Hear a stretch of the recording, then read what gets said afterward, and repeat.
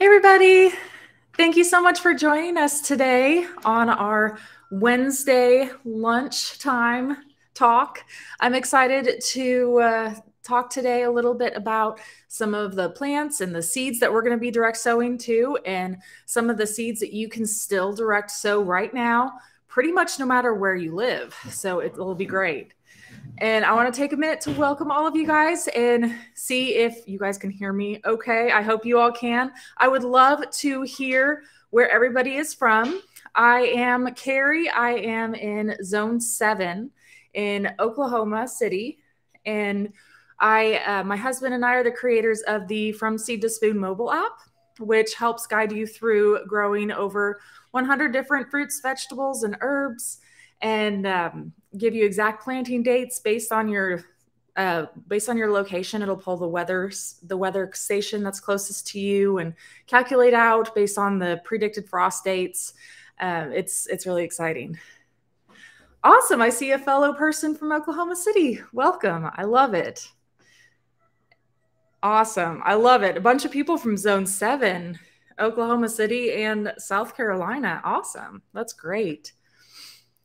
Well, welcome everybody. I am so happy to have a bunch of people from everywhere around here joining us today. And oh, it looks like we have some uh, some okras being uh, being grown and some cherry tomatoes. That's exciting. Oh, there's a lot of things right now that are growing out in our garden, and it's it's exciting. And I love to. Uh, I, I love to go out there and get some food and all of that. It's great. And um, it's not too late, too. If you guys haven't started growing, you can still plant things. And a lot of times we do a lot of succession planting. So I'll be planting things like continually. Um, like I've already planted like summer squash and all of that. And then I'll just keep going throughout the summer. Oh, we got somebody saying it's really hot in Texas. Yeah, it is really hot here in Oklahoma today, too. I think they actually issued a heat advisory for us today. It's probably one of our first actual really hot days. We've uh, been really lucky getting a lot of rain, and it's been super great. I've absolutely loved it. So, welcome everybody. I'm really excited that you guys are all here. Please feel free to comment all throughout this, and we will pull up some questions. I have um, a couple helpers that are that will be pulling up some questions for me up here, and um, and that way so if you guys have questions as we go feel free to do feel free to post them as we go. And also i just want to mention too that we are going to be doing a giveaway at the very end of this. So make sure that you guys stay tuned to the very end where i'll announce the winner. So the giveaway is going to be for a one year free premium app subscription for the from seed to spoon app. And um, so that way you'll be entered to win if you comment over here too. So make sure that you do that. And yep, if you are not familiar, this is our app right here. We um, we walk you through growing over 100 different fruits, vegetables, herbs, all that, like I already talked about, and then also give you some information for some pests, and also um, you can go through and log your plants too. So like whenever you plant out your seeds, you can put it in there, and that way it'll give you expected sprouting dates whenever you should be seeing little baby plants and whenever you can harvest them too. So it's really exciting. You can go through and stay stay with your plant all through the all throughout it. So I love seeing everybody from all across the United States. I'm really excited about that. so today we're going to be talking a little bit about some of the tough plants that love the sun and the heat and ones that you can actually get started right now today in most of the places that you live. So let's get started talking about some of the most common ones. So, first of all, I know I mentioned this already. I actually remembered this time, but I wanted to make sure I mention it again. Make sure you stick around to the end. We have that giveaway that we're going to be doing for the free one year premium app subscription. So, make sure that you guys stay tuned and comment over here to enter. So before I jump into specific plants, I just wanted to have um, just talk a little bit about some ways and like tips and tricks to go through um, planting and germinating seeds in the summer because it can be really difficult to germinate seeds in the summer when it is so hot outside and especially dry like it usually is. Not right now for us, but it's typically like hot and dry. Um, so, just some pretty generic tips for planting seeds in the summer. Um, one thing that we do a lot of is whenever we go through and plant things, um, we go through and um, if we're having a tough time, we can, after we plant and water them in, we put a layer of burlap down. And you can see that in this picture right up here. And I just put a layer of burlap and then I moisten the burlap as well too. Now, I don't let that stay for too long. I just wait until the seeds germinate, but it helps to keep that area moist um, especially when it is super hot out or dry. It helps to keep that area more moist. Also, can help with like critters too. So, if you're having issues with things like cats, mice, birds, things like that, it can really help with that as well. So, um, that's one thing that I always do whenever I'm germinating and I'm having a difficult time because it is so dry and I don't want to be out there in the 100 degree temperatures watering all the time. So, it's just one way to keep your plants a little bit more moist and then also the um, mulch, mulching your plants will really help. So just having a layer of mulch down um, will really keep the soil a lot moister as well as cooler. So the plants will do a lot better because they're not quite as hot as the others that just have the soil. And also, you won't have to water quite as often because that moist is, or that is helping to retain some of the moisture as well. So that really can help as well. And then just utilizing shade whenever you can. So if you don't have any any trees or anything like that that you can use as doing some some shade, we can use some shade cloth or we do some or we do like living shade walls. Um, and also we have these arch trellises right here that we do for um, and it, for a lot of different things. So you can plant things that go arch around those trellises and then it creates shade below. Um, so either way, like living shade walls or shade cloths can really help to create some shade to give your plants a little bit of break. And then I see that Debbie has a great question here. She says, What is the best kind of mulch for garden boxes? So, personally, what we use a lot of is, well, what we can find here around where we live. So, um, leaves are always going to be an amazing source for you. So, excuse me. Um, so, dried leaves in the fall are amazing. They break down really fast. They'll help to add some nutrients into the soil. Um, and and wood chips are something that we do a lot of as well. So we do um, we get some wood chips either from our local compost facility um, or I mean you can get them anywhere. We also do like some pine shavings sometimes. Um, there's a bunch of different things that you can do, um, and but those are typically the ones that that we use most of the time. So those are the best ones that I would recommend.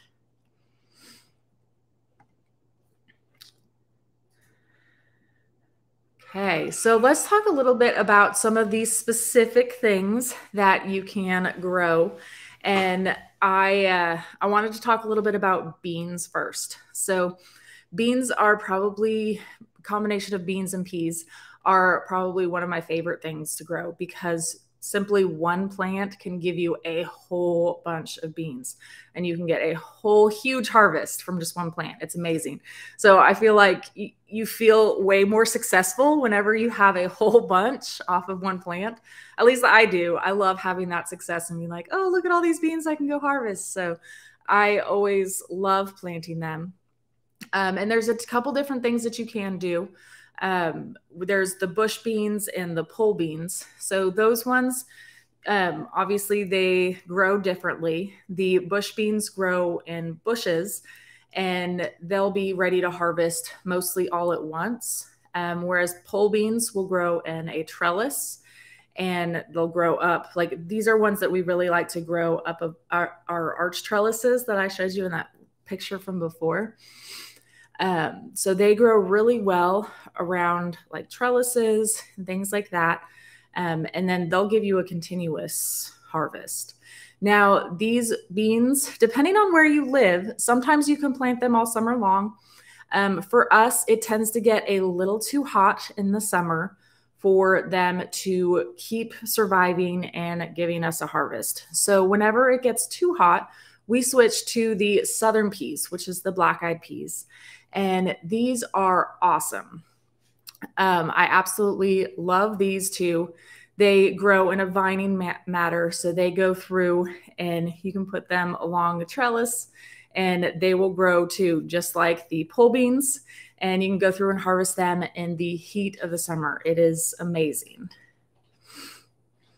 Um, so yeah, I absolutely love all of that. Um, again, like I, so what we do here in zone seven, we do bush beans and pole beans whenever it hits like summer or springtime.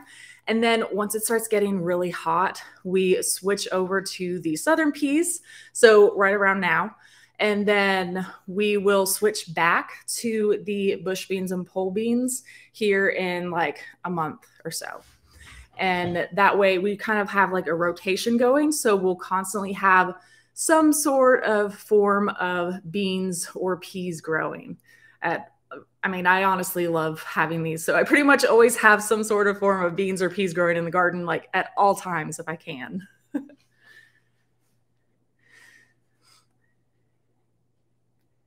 and then here I have just a few images. Um, I was talking how I really liked to, to grow the beans over the arch trellises.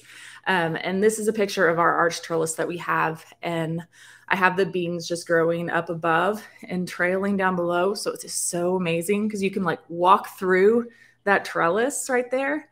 And it's super easy to do those trellises. Um, this one right here is just simply a cattle panel, um, just with some, um, I mean, some stakes in the ground you can put it up against, and some, and we use zip, zip ties just to attach them to support them a little bit and then um, just grow things up above it and you can walk through it. I love these because I hang flowers on them. You can kind of see right there. I have some hanging pots um, with some flowers, helps to bring in some pollinators. Plus it looks super pretty. And that way I can, I walk through there, absolutely love it. And I can go through and pull these beans off. Super easy to harvest. Absolutely love it. Um, something else that we've used before too are these pole bean growing towers. These things are awesome too. And I, um, I actually just used them for the first time last year and they are super fun. I just set it up uh, and then put a bean plant along each little, I mean, it's kind of hard to see in the picture right there because it's a little small, but on the base of the plant, there's like different sections. So I put one plant or one seed along the side of each of them, and the beans just grew up it. And so it was super cool. It was like this big, big thing of uh, beans growing. It was really exciting, and I loved it.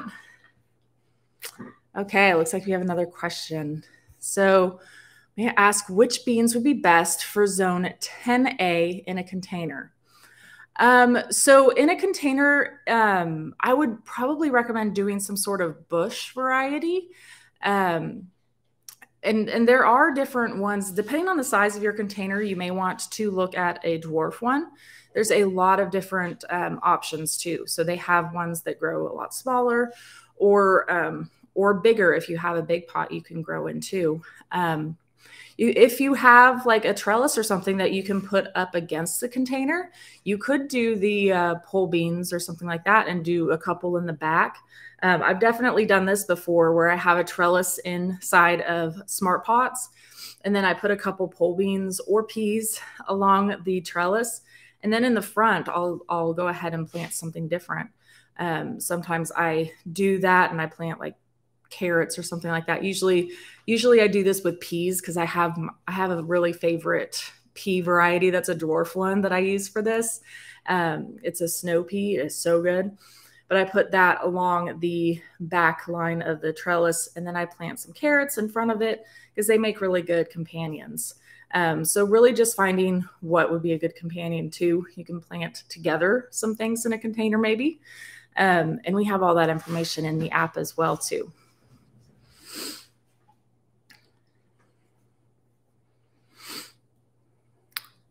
And just a few other plants that it is not too late to plant, at least in my area and in a lot of areas too. A, a, lot of these you can still plant by seed directly right now.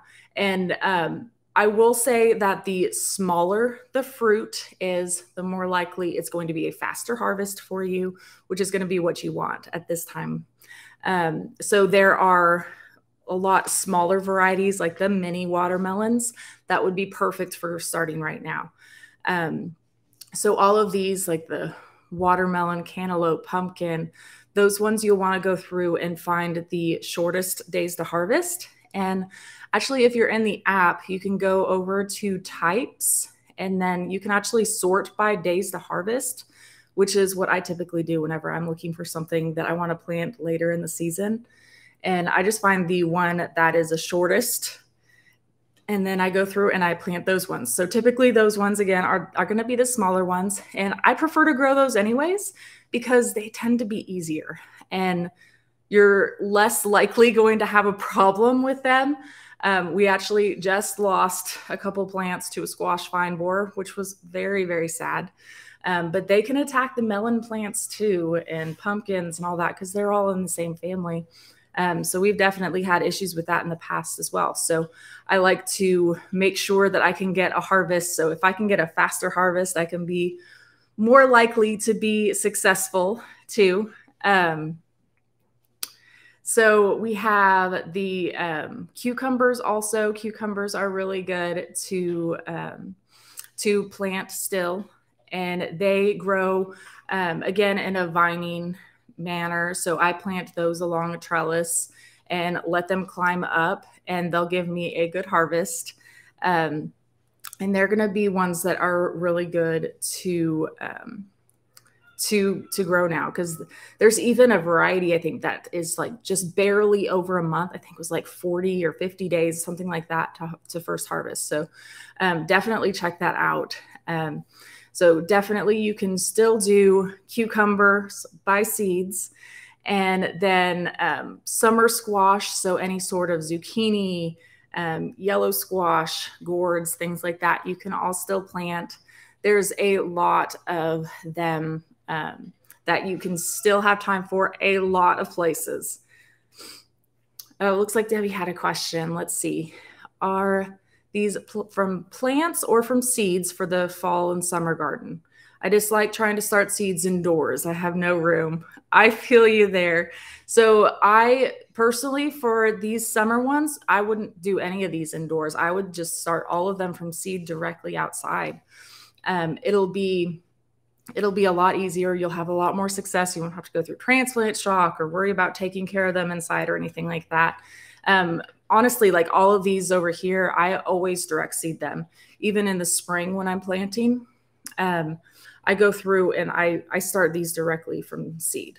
So I'll do that and I do succession planting. So what I mean by that is whenever I first start planting, um, I plant once and then I grow like a couple weeks and then I'll plant another couple here and there. And then again, I'll do that in another couple weeks. And that way, if something does happen to one of the other ones, like squash vine borer, squash bugs, or any of those nasty critters get to it, or I have an issue, um, you never know. Um, or you can also just have a good harvest that is sporadic. So that way you're not getting like all of your watermelons at once. You can enjoy it all throughout the winter. So um, I do a lot of succession planting and I do it all outside. Um, so Carrie wants to know, I have and am growing a cucumber salad bushes. How big do the cupcakes get when they are mature? Um, so it really depends. Um, yeah, I, I, cucumbers I'm, I'm getting. So, um, so it really depends on the type of variety that you have. Um, so I would go off of like how it looks too. So you want to make sure that it doesn't start to turn like yellow or soft on you. Um, so whenever the cucumbers start filling out, they're a good green color. They're not super firm, but um, soft-ish, but not too soft. That's around when you'll want to harvest. But really, all of the um, cucumber varieties are going to be so different because there are so many different types of, of cucumbers out there. There's the um, there's a lot of pickling varieties. There's some that grow really large. Um, so it really just depends on what type. So really just looking at your cucumber too and seeing the difference um, and making sure that they don't turn yellow on you is the biggest thing. Then you'll know that that it's too big at that point.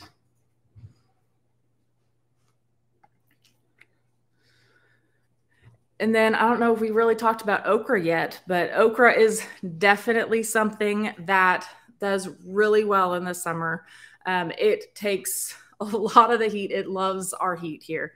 Um, so we are constantly growing okra. We get huge okra harvests throughout the entire summer.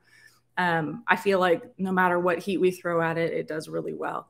Um, and then the key to okra too, you just want to make sure to harvest them when they're smaller, or else they're gonna taste a little bit like crunchy and like get a little bit like fibrous almost. Um, they're still good for some things at that point, but I always prefer to harvest them when they're smaller and then they they just they taste so good even directly just like off of the plant is so good. So if you haven't tried growing okra yet and you have space in your garden, I definitely recommend giving it a try because it will do really well in your heat that you are having right now.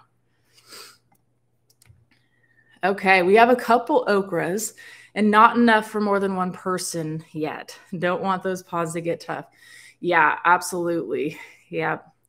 You uh you want to make sure to harvest them when they're still smaller and sweet and not to let them get really big and tough or else yeah, they're pretty much just good for gumbo at that point, at least for me. Or sometimes I will let them just stay on there too, especially if it's at the end of the season.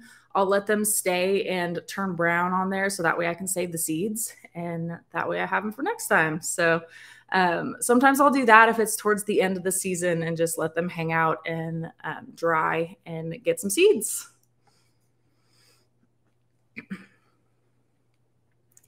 And th so this is a wider picture too of our arch trellises that we use. And I grow quite a bit of things up these. So you can grow any sort of these melons.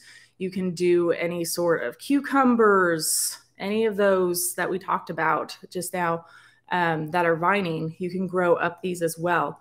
Um, especially if you're going to be doing the ones that are the smaller mini watermelons and all of that.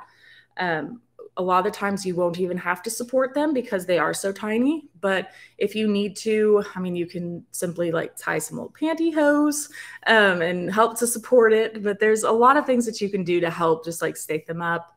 Um, and then I also put a picture up here of this melon cradle too, because we do, um, it is good to have your melons or um, whatever you have on the ground that's vining um, up off of the ground, it can really help with the pests because it will be devastating to you if you come by and um, and a rat has eaten a lot of your plant. And it is so sad. It's happened to us before.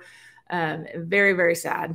Um, but uh, it definitely helps with things like um, rotting as well. So especially if you have the um, if you have a lot of moisture, if you're getting a lot of rain, or if you overhead water, um, anything like that. So this will be super helpful for you just to keep it up off the ground, help keep it protected, and you'll have definitely a lot healthier melons for it.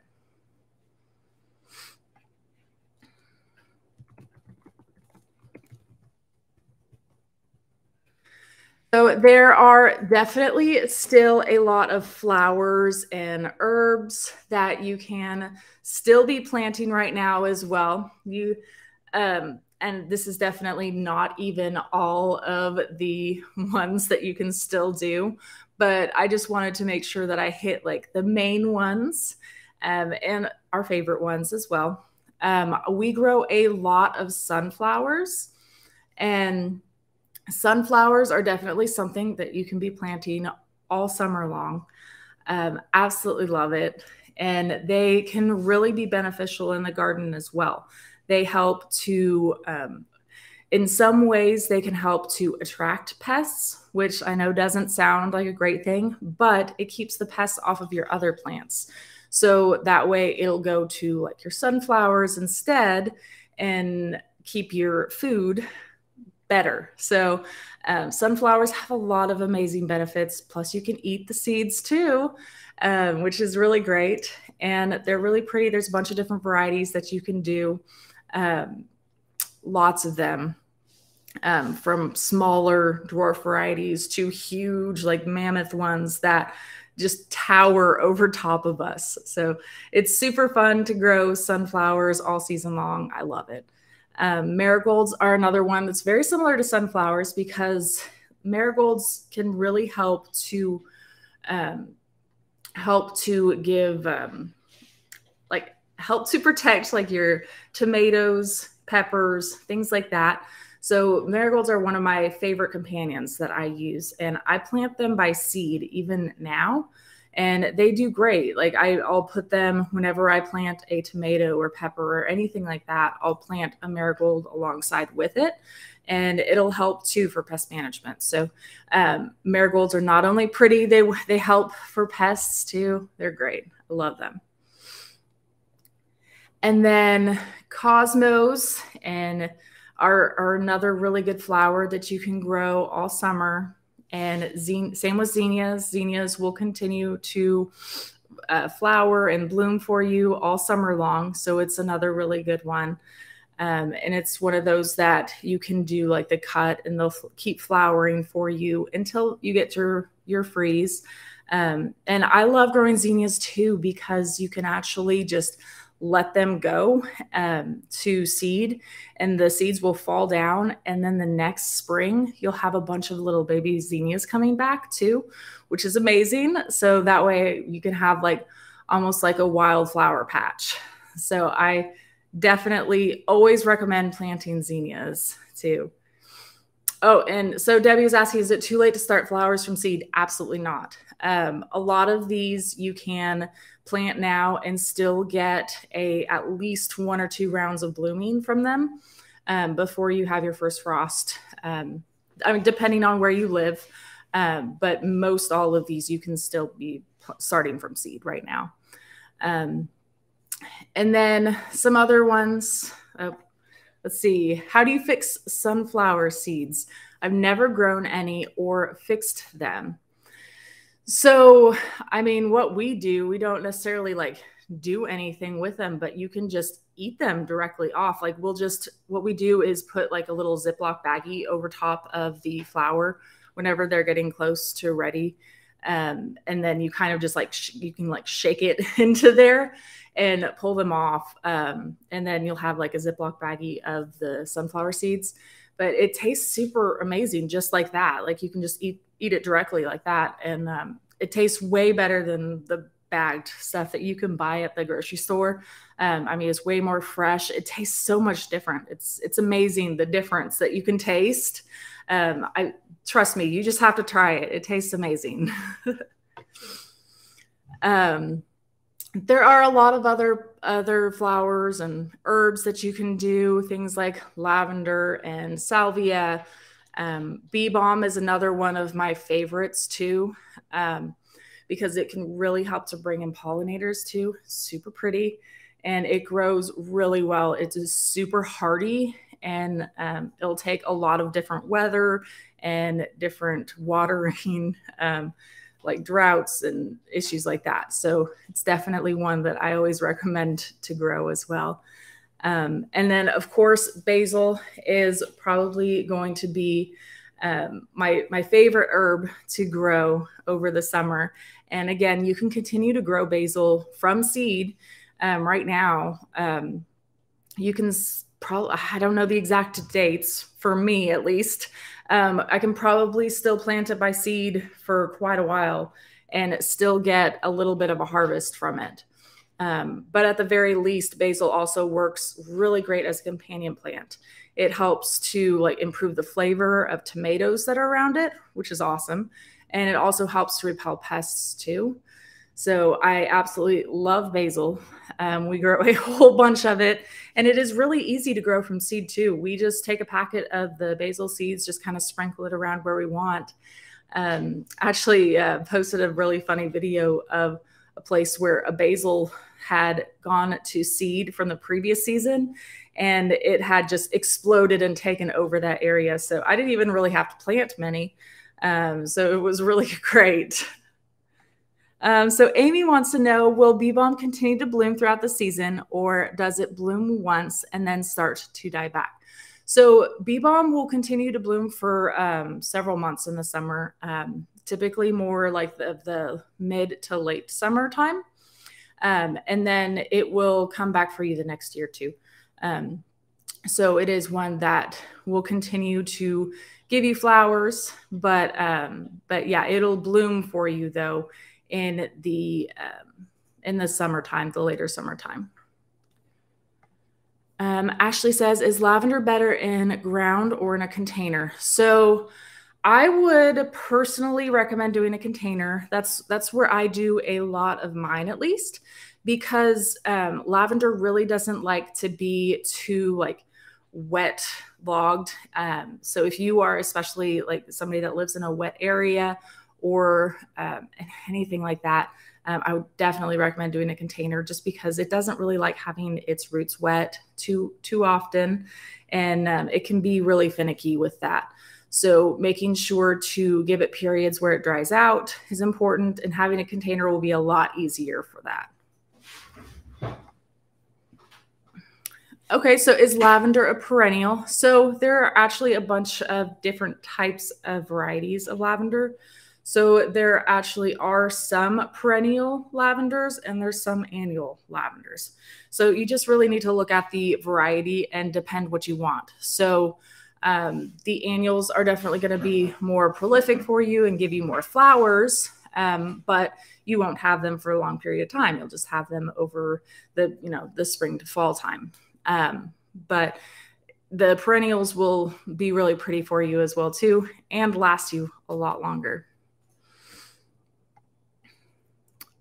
Is it too late to plant lavender from seed? So um, you can definitely do some lavender by seed still. Um, lavender is one that I do tend to do a transplant for, but it is definitely one that you can still do by seed um, right now, um, and it, it should do well for you.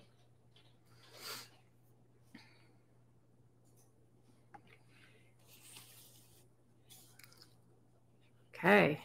Well, we can move to the next slide.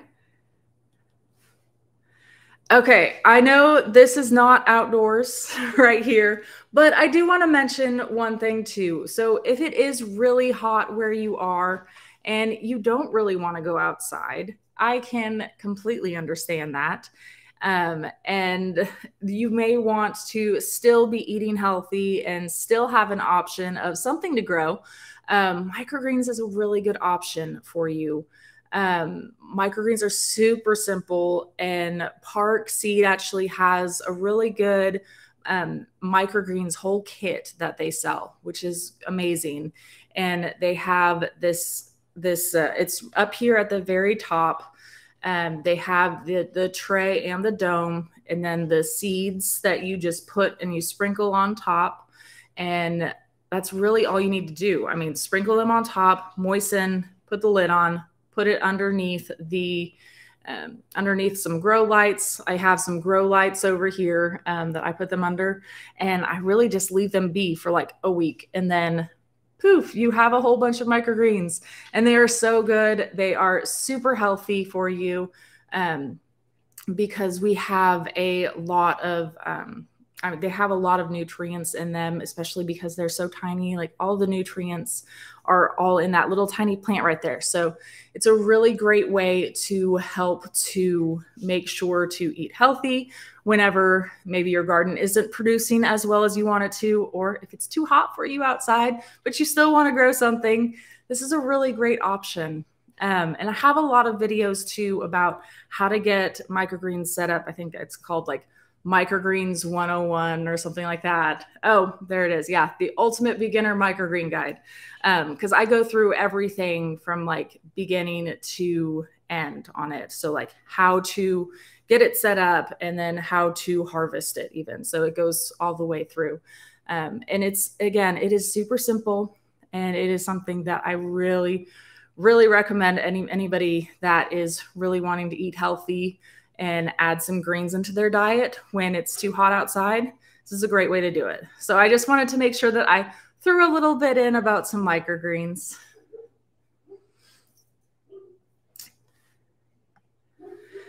Okay, so I have come to the end of all of the stuff that I was going to make sure that I hit. And I wanted to take this time to see if anybody had any questions that we didn't answer during this time yet.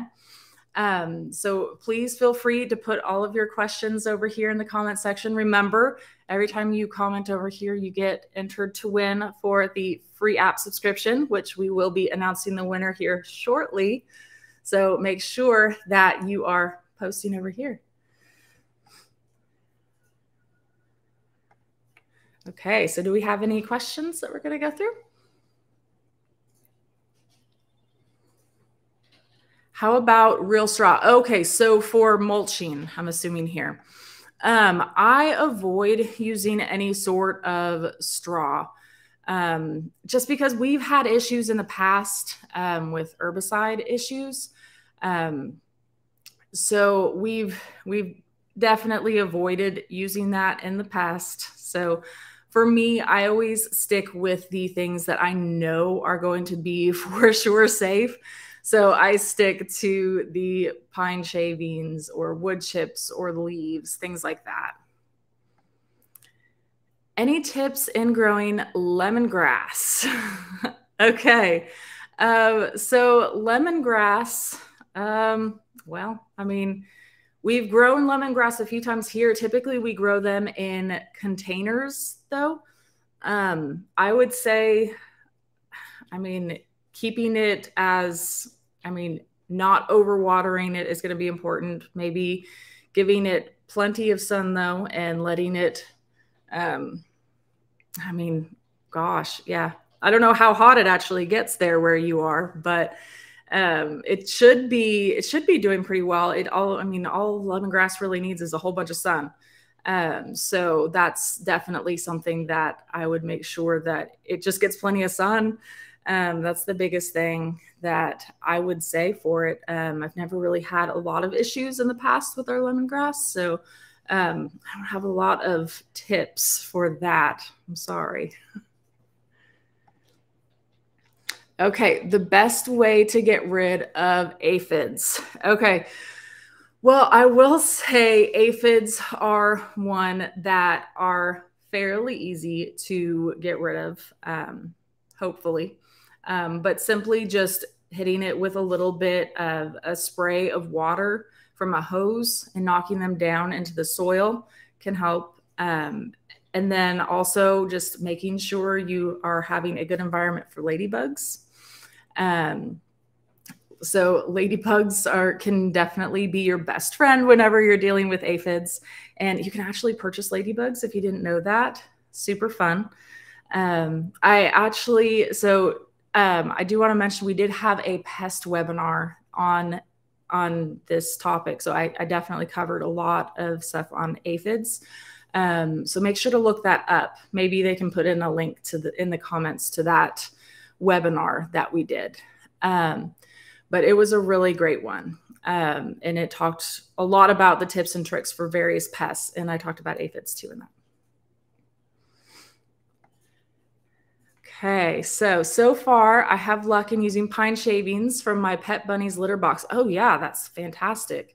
I mix it with my amended soil. I can only do container gardening and use five gallon buckets because of ground squirrels. Yes, that is fantastic advice. And if anybody has any pet bunnies, I would for sure be using that because they are super helpful. Their manure will be very amazing to have. They are great composters. So that'll be fantastic. Thanks for sharing. Okay, I have a ton of tomatoes on the vines. I have fertilized several times and we've had tons of rains. Um, however, my tomatoes are really get aren't really getting any bigger, I'm guessing. Um, so probably the issue is the heat right now. Um, I mean, depending on where you are, where you're living, um, tomatoes don't grow super amazing whenever it gets too hot. I typically say like 95 ish, 90, 95 ish, um, they'll stop producing and stop really growing that well. But they won't die. They'll just kind of go like slow down a little bit, but then they'll pick back up whenever the temperatures kind of cool back down. Um, so it could be the heat. Um, it's possible maybe the sun. Um, if it's not getting enough sun, that could be an issue as well. Um, so maybe one of those issues. So th- that would be what I would recommend without seeing it or knowing where you're living.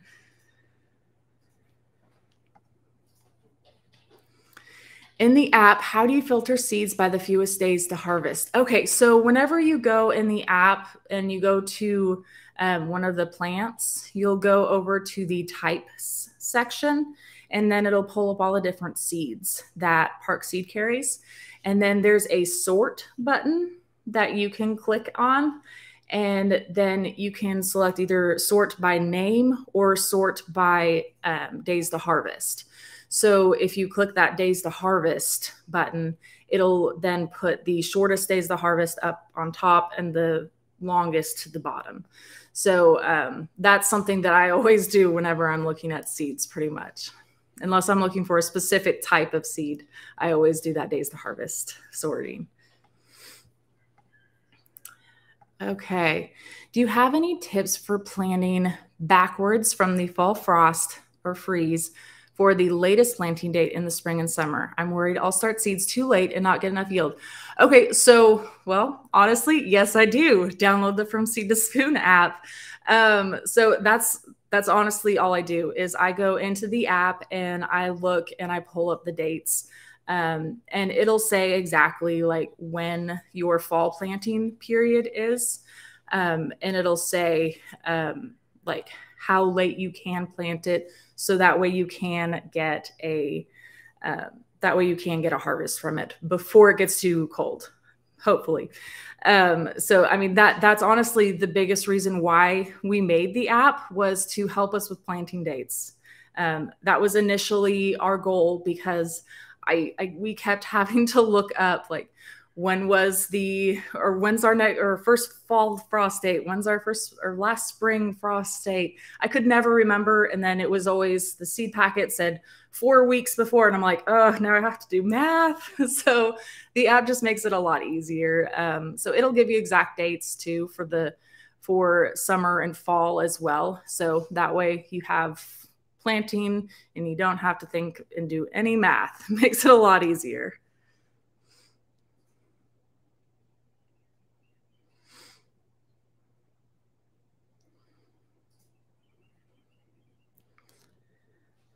Okay, Kim wants to know what do you do when tomato leaves curl or when leaves turn black? So, curling could definitely be um, a sign of many different issues. Um, so, some things it could be um, like the heat, like excessive heat, or um, watering issues.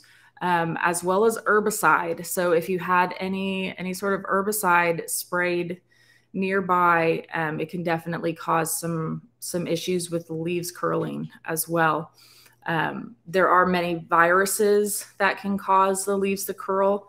Um, and that's for, for that reason, like I always, whenever I'm picking out tomato varieties, I always try and pick ones that are resistant to diseases that I've had issues with in the past. Um, so that's one reason like I love like the Parks Whopper so much because it is resistant to a lot of these various viruses and um, and all of that. Um, so besides that, I mean, it could be some insects as well. Um, they can sometimes cause leaves to curl. Um, but if they are turning black, black would definitely be bad. Um, so I mean, what I would recommend doing, I mean, depending on what the issue is, you can kind of see a little bit, um, try and see if you can find evidence of what the issue might be. Um, and then you might want to try like trimming the bottom leaves um, if the just the bottom leaves are having issues. Um, the biggest thing is to make sure to keep like your hands and any equipment that you use on it, like to cut or trim or do anything like that. Um, keep those clean. So like clean them after you do it, so that we don't spread, just in case it is a virus or something, that we don't spread it to your other tomatoes.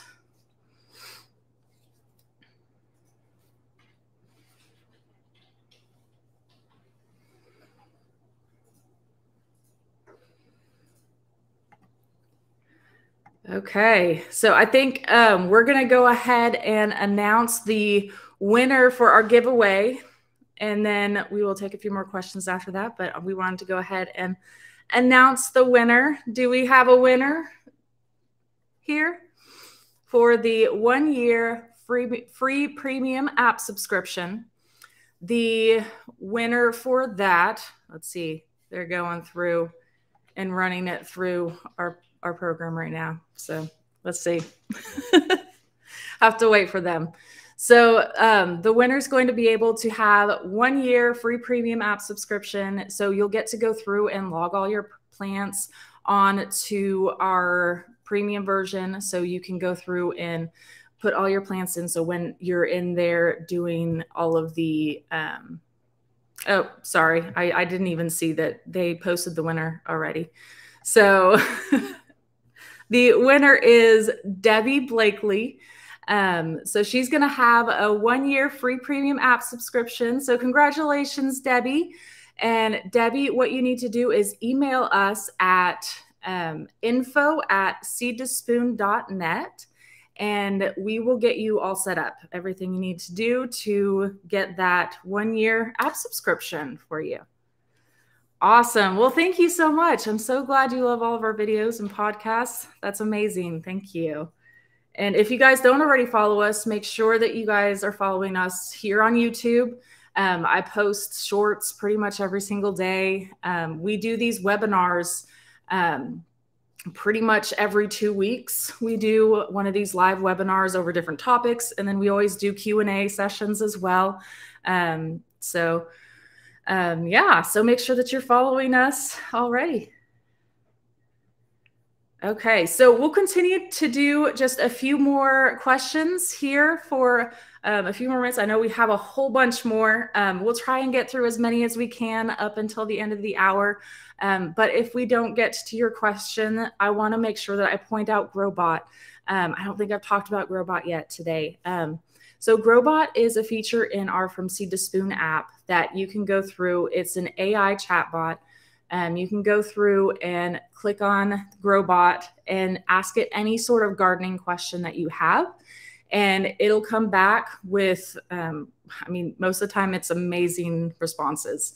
Um, so I go through, I use Growbot too. I go through and I'm like, oh, what is, you know, I, I don't even, oh, well, what did I ask here? What are good tomato companion plants? So, I mean, you can really ask it anything that you want um, related to gardening, and it'll it'll help you out. So, if I don't get to your question, try that out. Um, but afterwards, too, I will go through questions, and um, I typically go through and make videos and shorts and all that too, based on your guys' feedback and questions too. So, don't worry, we'll get to it. okay. What is an easy above ground irrigation system that one can install? So, we've used several different irrigation systems ourselves um, since we've been gardening. We've done different things such as making our own, like making a DIY PVC pipe one. Um, it was fairly simple. I mean, it, it's not like super easy, but you just attach um, different PVC pipe fittings together and um, drill some holes in it, connect it to a hose, and it'll go out wherever you drill the holes. Um, we have videos um, from the past, like all about how we did this. Maybe they can pull one up and put one up here in the comment section. Um, but yep, yep, there it is. Thank you. So we have videos all about like how we made that too and how it works. Um, there's also like the that black tubing, like the soaker hoses, things like that. All of that is super simple to to connect in from a hose, um, and you just line it back and forth, kind of like kind of make little S shapes along um, along the different um, your different planters, or if you're doing in ground, however you're using it. Um, so yeah, there's several different types. Um, so yeah, any sort of drip irrigation. Um, yeah.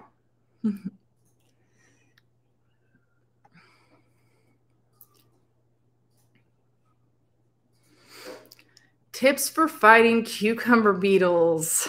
Okay, so cucumber beetles are ones that I'm going to say are, well, I, I, hate to say it, but they're actually one of my favorite pests to battle because there's some easy solutions. Um, if you are having issues with cucumber beetles, I typically put up those yellow sticky traps. Um, they are super simple. Like I just, I order these yellow sticky traps.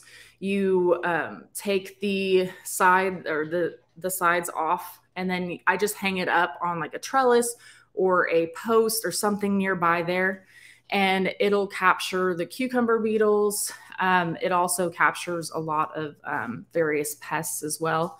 Um, I know people tend to be scared of using those just because of um, pollinators and things like that, but I've actually never had any issues with that before. Um, I mean, the most beneficial thing that we've had ever land on our yellow sticky traps are the um, are flies. So whether or not you consider them beneficial or not, I mean, I'm I'm willing to uh, let let some of those flies go for the sake of fighting off these cucumber beetles. So that's probably the easiest thing that I would recommend doing for cucumber beetles. There's a lot of other things you can do too. Um, make sure you check out that webinar that I did. Um, it was probably about a month ago. Um, it's it's posted live on our YouTube, um, and it talks more in depth about um, tips and tricks for cucumber beetles too. And in our app too, there's a section for cucumber beetles too. I want to point out um, that you can go through um, the pests and go to cucumber beetles, and it'll talk through um, different organic methods and things that we've used in the past. Okay, what is the best way to keep weeds away? They always wear me down. Oh, 100% agree with you. Weeds are, oh, yes. Um, so what we do is um, we like to mulch a lot, um, especially if it's in the garden beds. Um, so mulching will help with the weed control. Um, if it is around your garden beds, what we do is we lay down like um, we lay down a layer of cardboard and then we put wood chips on that, and that's our walkways. But that can really help to smother out like any sort of weeds or grass issues that you have there as well. Um, and then in the wintertime, I would recommend doing like some sort of cover crops, um, things like that. And that can really help to prevent other weeds from, you know, growing during that time and taking over your bed. So those are two things that I would uh, definitely recommend. Um, yeah, let's see. So Jennifer says, Do I need to do anything to refresh a bed before I plant seeds again? I had vine borers and ants. Ooh, yeah. So, um, I mean, one thing you can do is um, is go through and use a propane torch on that soil. But I mean, it will it'll definitely kill the pests that you had issues with, but you may kill any good bugs too that was in that area. Um, but definitely what I would do is um, I would probably just till it up and make sure you don't have any of those issues anymore still.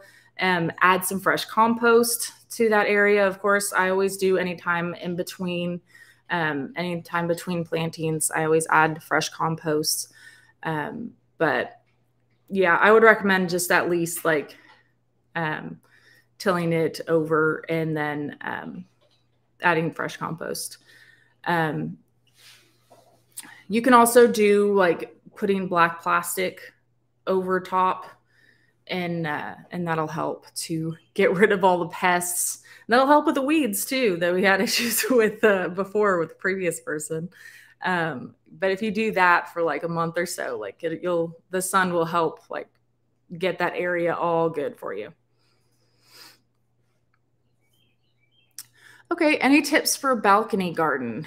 So I would recommend so if you haven't heard of Smart Pots, I would definitely check them out. Those are some of our favorite favorite fabric raised beds. They're super durable um, and they work amazing. So they are um, you simply just order them, unwrap them, fill them with soil, and plant them. So um, I would recommend doing some containers on your garden um, or on your balcony. Um, and depending the size of your balcony, I would probably stick with some that are more um, dwarf varieties. Um, and then there's also a filter too that you can go through on the app to see if there's any that can tolerate some shade. Because um, typically with you know balconies, I'm assuming that there's probably some um, some shade at least. So I would look for some of the plants that can tolerate just at least some shade. So on the app, there's a filter for tolerate shade. Um, so I would look and pick out some of those plants and you'll have a lot more success. Okay, well, we have come to the end of the hour. So thank you so much, everybody. Oh, that's really sweet. I'm really glad that we have a new follower and somebody that's joining us now. Um, so thank you so much, everybody, for joining us today. It was fun sitting here and chatting about different plants and pests at the end and all of that. Um, I appreciate all of you guys spending this time with me. And make sure you, if you are not already following us, that you do. So that way you guys can get notified too whenever we do our next webinar. We do these pretty much every two weeks. So here in two weeks from now, I'm not sure the date, but two weeks from now, I'll be talking more about garden stuff. So make sure that you guys all join us and we look forward to hanging out with you again. Thanks everybody for hanging out. We'll see y'all next time.